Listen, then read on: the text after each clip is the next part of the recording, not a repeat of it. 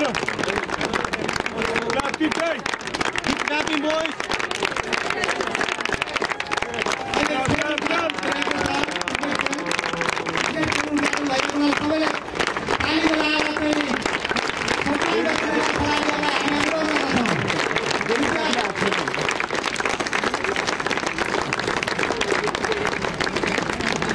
Thank you.